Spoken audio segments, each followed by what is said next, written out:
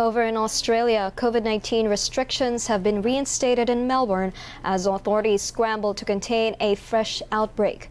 One new locally acquired case has been reported in Melbourne on Tuesday, a day after four infections were recorded in the city. All five cases are close contacts of each other. The cases were believed to be linked to a variant found in an overseas traveler who returned to Melbourne after competing, completing quarantine in Adelaide. The outbreak ends Victoria State's run of zero COVID 19 cases for nearly three months. Private gatherings in the home uh, will be limited to five visitors per day. Uh, public gatherings will be limited to 30 people and face masks will need to be worn indoors unless an exemption applies and this mask requirement is for everyone aged 12 years and older. Our advice is the same as it's always been. These are the measures that are there to protect you, protect your loved ones um, and our whole community.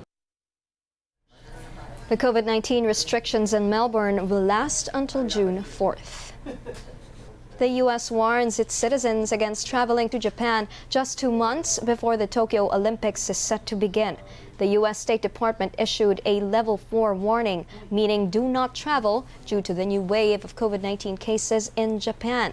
It adds even those who are fully vaccinated should avoid visiting Tokyo due to the threat of new COVID 19 variants.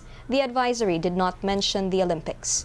But it's another troubling sign for the Games as calls mount for its postponement. The Tokyo Olympics was postponed in 2020 during the early days of the pandemic. The Summer Games are still scheduled to run from July 23 to August 8. The new travel advisory in the U.S. comes as the country reports its lowest number of new COVID 19 cases in nearly a year. New infections dropped 26% in the last seven days, with the downtrend now on its sixth week. Here's the full story. Nearly a year, according to a Reuters analysis of state and local data. New infections dropped 26% from the previous seven days to just under 180,000 for the week. New cases have fallen for six weeks in a row and hit their lowest level since the week ending June 14, 2020. Deaths from COVID 19 fell 5% to just under 4,000 in the week ending May 23rd, the fewest deaths in a week since March 2020. 39.6% of the country's population has been fully vaccinated, and nearly 50% has received at least one dose of a COVID 19 vaccine. Vermont leads the country with 69% of its residents receiving at least one dose, followed by Massachusetts at 65%. The rate of vaccinations, however, has been slowing for five straight weeks. In the past seven days, an average of 1.8 million vaccine doses were administered per day, down from a peak of 3.1 million shots per day in April.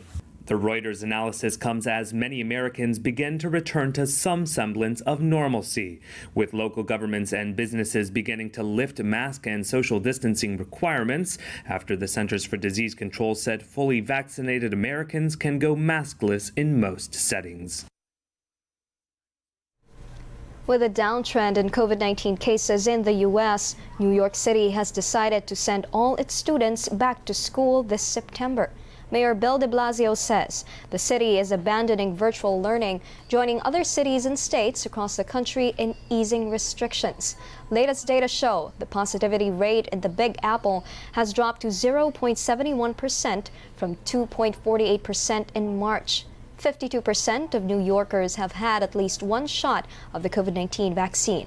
De Blasio says strict health protocols will still be in place during in person classes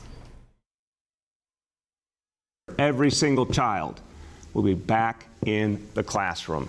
I have talked to so many parents who have been wanting to hear this confirmed, and I am confirming it once and for all. We're going to have plenty of protections in place, as we proved even during the toughest months of COVID, that we could keep kids and staff safe with a gold standard of health and safety measures. We have seen the CDC moving constantly with the data. So again, it is, you know, May 24th, first day of school, September 13th. Uh, I think the fact is clear to me that as more data comes in, more progress, they're going to make adjustments.